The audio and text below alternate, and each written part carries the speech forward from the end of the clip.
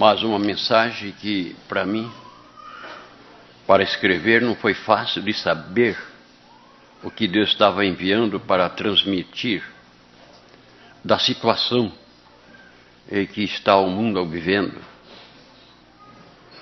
Eu, quando tinha programa de rádio lá em Joinville, era uma das coisas que eu também, que não entendia muito os erros do ser humano que escreve coisa que não, que não tem nada a ver com Deus, é quando você compra, e a gente comprava o jornal, primeira coisa que abria a página era para ver o horóscopo. O que é que diria, dizia ali para a gente ter um dia feliz. A, a, a mensagem, a mensagem que é tudo sagrado, tudo poder de Deus, eles não leem. É, se não quer mais se comprometer, natural que isso aqui para eles é Deus o livre. Não, não quero nem saber disso aí. Mas por que, que não quero mais saber disso? Quero me referir sobre os que dirigem a Igreja Católica. Eu não sabendo quem era, eu disse, meu Deus, quem é essa pessoa que trans, vai transmitir as palavras hoje? Custei achar essa pessoa. E é, na Bíblia, uma, um grande personagem, né? Só que eu pouco entendo. Quando vi que era São Judas Tadeu, então eu perguntei para ele, São Judas Tadeu, bem pouco conheço, a não ser só pelo seu nome. O que diria a nós que vivemos num tempo tão difícil, pela perca de fé e um povo sem mais respeito com Jesus sacramentado? A coisa, gente, não é brincadeira. Não é brincadeira. Hoje, dia 7 de setembro, 2014. Você vê é, que ainda continua em parábolas certas mensagens, que é de ontem vocês viram, é, o né, cara, que, que faz a figura de uma pessoa no papel. Hoje, ele diz: o inquilino, quando não paga mais o seu devido contrato que foi, fez pela morada, o seu dono tem todo o direito uh, de retirar. E agora vocês vejam só. E é o que vai acontecer com, esses, com essas pessoas que, não, que são mal agradecidos, que não há mais jeito de dar o máximo de respeito a Jesus sacramentado. Então a limpeza será feita tão logo pois o dono da casa não deixará um só dentro do que é seu. Vai ser varrido dentro da igreja, de Pedro, não? A igreja que foi deixada por Jesus a Pedro I não está sendo mais reconhecida como templo sagrado. O motivo disto tudo são os que vêm usando ela como uma fonte de comércio. Isto é muito sério, muito. E eu, como sempre fui e sou defensor das coisas boas, me sinto envergonhado de ver uma casa que já foi há muito tempo, muitos anos, um lugar de grande respeito e que hoje não se vê mais. O descontrole não foi como dizem eles, que a igreja tem que acompanhar a evolução e não mais como vinha mantendo. Aí ele diz: o custo disso tudo ficou para o lado dos mais pobres, que já não têm mais como virar, se virar. E ainda eles, os fornicários, têm coragem de pedir ajuda. Isto é desumano. A falta de respeito com as pessoas que já não sabem mais o que está falando a verdade. Mas tu, irmão Pedro II, vens mostrando para o pequeno rebanho que não se deixe convencer. Deve ficar como sempre foi. Porque aquele que vem procurando se salvar, todos vão ter que sumir desta terra, onde vai ser varrida tão logo. Por o dono deste mundo já não suporta mais, vendo um povo, a maior parte, deixando que o diabo seja o administrador tirando o direito de Jesus sacramentado. Mas tão logo tudo isso que vocês, irmãos em Cristo, estão vendo, vai ser tudo consumado perante as leis sagradas, deixada pelos profetas escrito no livro sagrado, que é a Bíblia.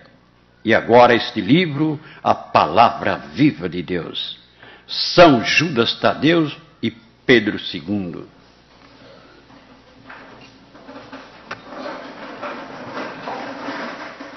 É, a coisa não é como nós esperamos, não, hein? Olha aqui, essas últimas mensagens agora, vem pesada, né? Vem pesada. E seja lá quem for. Dentro da Igreja Católica, já aquela o do sábado passado, a terra irá tremer. E quem tiver lá dentro será, não sobrar um. Ontem já foi mais um aviso. Hoje, aqui São Judas Tadeu está dizendo que isso tudo aí. Mas, mas se, se a gente vê tanto erro é, na parte do governo, do governo, se a gente vê tanto erro no meio de famílias é, que não tem mais controle, que a, a filha fala o que quer, o filho fala como quer, Será que juntando tudo isso, o pior nós estamos vendo a Igreja Católica chegar ao ponto do que chegou? Até eu, eu gostaria né, de perguntar às pessoas, essas pessoas que não querem vir aqui, mas que estão vendo, estão escutando, para ver o que é que eu falo. Aqui que São Judas Tadeu fala, as pessoas já não sabem mais o que fazer da vida para ter um dia melhor. E a própria Igreja Católica não reconhece o que está acontecendo com a humanidade. Se eu fosse um deles, vocês me imaginem bem. Se eu fosse um deles, então Deus botou uma igreja na minha mão eu preciso levantar um dinheiro bom para aumentar isso aqui. Eu tenho que fazer alguma coisa para aumentar, porque daqui a pouco a igreja não vai caber mais o povo. Vamos que eu desobedecesse a Deus. Gente, agora eu quero fazer uma campanha para que vocês me ajudem. Eu quero construir uma coisa melhor para receber vocês. Eu quero fazer uma coisa bonita. Eu quero comprar uma rádio para transmitir. Está vendo isso só? Não está vendo mais um, assim, um, uma coisa que, que, que chame a atenção do povo, o respeito que estão faltando com Jesus. Não é campanha para ajudar aqui, ajudar aquilo ali, para ficar uma coisa melhor. Para que isso? Mas para quê? Imagine, Deus vendo tudo aí, como São Judas está dizendo, a pobreza já não sabe mais o que fazer, ainda tirar dos coitadinhos. Agradecemos a campanha, você já sabe quem é, das coisas de primeira qualidade, custa dinheirão. Se eu fosse fazer, gente, eu vou fazer daqui diante uma campanha que eu preciso de uma rádio aqui. Olha, um charlatão chegou, hein? Charlatão aí, ó, o Vivaldino. Quer se enriquecer. Quer dizer que eu seria um charlatão. Lá não. Lá não. Não, que aquilo lá é sagrado, aquilo lá é, é casa, é, é abençoada. O mundo todo sabe que no Brasil é o que mais lá o povo vão. Ah, se eles têm o direito, eu também tinha o direito. Porque Deus botou em minha mão e precisou, precisava também de uma emissora que tenha potência para transmitir a missa. Vai eu fazer isso, vai. Aí fazer eu isso aí. Ó, um charlatão aí, ó, quer tirar dinheiro do povo. Primeiro as pessoas, a, criticarei os meus parentes da Ladim. Ó, o Vivaldino, viu? Agora está dando seu último golpe aí. É isso aí, gente, que a gente está vendo, né? E o povo não está enxergando isso. Aqui São Judas Tadeu fala uma coisa tão séria. Né? Já foi o tempo que a casa de Deus, deixada por Jesus a Pedro, não está sendo mais reconhecida como um templo sagrado, o motivo disto tudo são os que vêm usando ela como uma fonte de comércio. Isto é muito sério. É muito sério mesmo. E vai ser a qualquer momento. Você imagina? Já há muito tempo atrás, aqui não ficará um. Aqui não ficará um em redor da igreja. Aqui vai sumir de um jeito, de uma forma, não sei como, só Deus é que sabe. A gente não está pedindo nada de mal para essa pessoa. A gente está pedindo que Deus perdoe como ele pediu na cruz. Pai, perdoai porque eles não sabem o que fazem. Mas aqui São Judas, que sempre foi defensor e sempre é das coisas boas, diz ele aqui. Sinto-me envergonhado de ver a Igreja Católica chegar ao ponto só pede, só pede, só pede. Por que, que não vem ver aonde estão os coitadinhos morando? Lá debaixo das pontes, no meio da estrada, à beira das estradas. Por que, que eles não saem procurando? Não, é só campanha, campanha, campanha e comprando das coisas mais caras. Aí é fácil. É muito fácil isso aí. É a perca de fé, é o descontrole. Ó, oh, gente, nós, nós temos que nós mesmos cuidar, cuidar com máximo zelo pelo Santíssimo Sacramento. É o momento mais lindo da face da terra, quando o sacerdote, como aqui nós temos, dá o máximo de respeito para com Jesus. Passa o dia, passa a noite, vem mês e vem ano. Não existe mais na terra um momento mais sagrado do que este, esta hora. Feliz de vocês que estão acreditando, estão aceitando. E que venha, venha antes do mal que vai acontecer para esses descrentes que não querem aceitar a verdade. Parece que eles fazem questão. Não, eu tenho que, eu quero pagar. Eu quero pagar para batizar, eu quero pagar para casar, eu quero pagar tudo, quero pagar meu dízimo, quero pagar tudo. Olha aqui, São Judas está tá dizendo aqui, né? Que o povo já não sabe mais o que fazer da vida. Os impostos é cada vez mais, aumenta tanto o imposto, aumenta tudo. Meu Deus do céu, eu não sei, nunca tive salário, mas salário não sei se é 800 ou 900, sei lá. Se você para viver com mil reais, hum, não é fácil. Agora, com 800 ou 900, mais, mais difícil é. Agora, dali tirar. Tem que pagar o dízimo, tem que pagar para batizar, tem que pagar para casar. Se não tiver em dia, não batiza. Isso é casa de Deus? Poxa, Jesus teve piedade daquele povo que acompanhava ele, que multiplicou os pãezinhos e peixe para matar a fome. E esses tiram da boca até o pãozinho.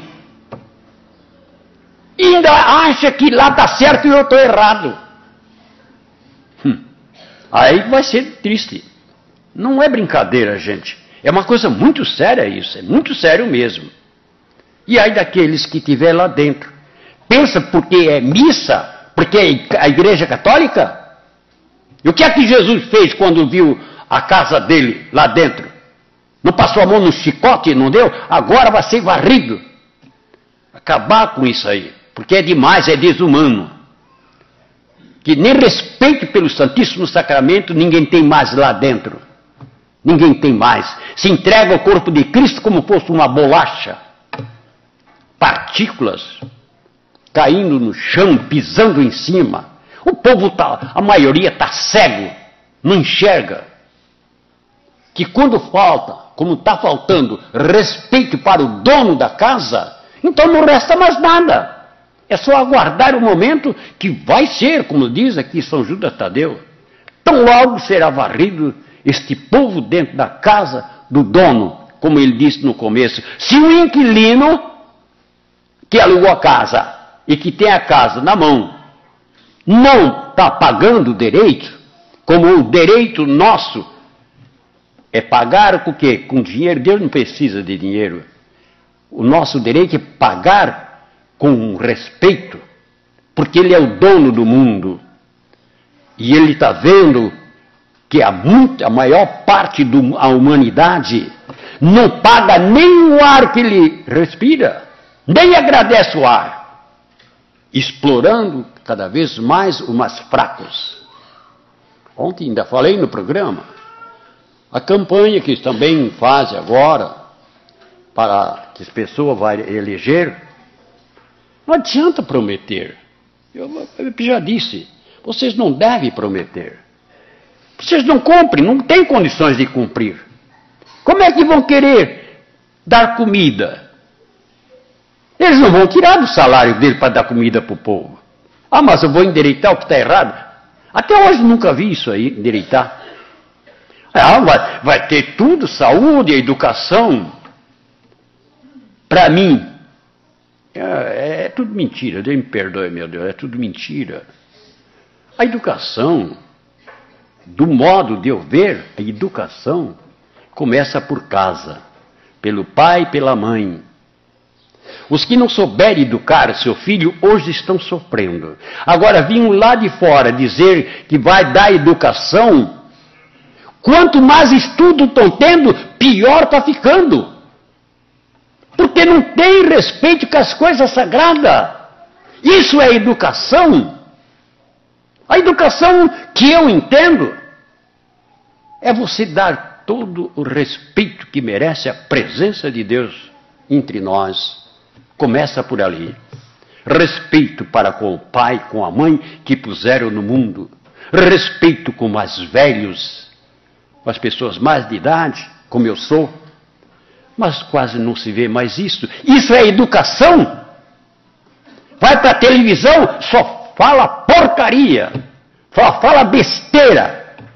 Vai para o rádio, é a mesma coisa, é música que dá uma vergonha de ouvir. E onde é que está a educação, gente? Fase de. Não, porque se eu for eleito, primeira coisa é, é dar o alimento, um salário melhor, a saúde e a educação. Não, não tem mais jeito, não tem. Se você deixar de respeitar o dono deste mundo, você vai perder o direito que teria para alcançar a vida eterna. Mas felizes vocês que estão junto comigo. Feliz de vocês. Porque aqui só se fala a verdade e, cumprirei, e cumprirei até o último momento, quando entregarei nas mãos de Jesus a chave que a mim foi confiada. A chave, esse segredo, e, entregarei na mão de Jesus. Está tão, é uma prova tão grande que a arca está ali para mostrar que ela é verdadeira, é como Deus quer.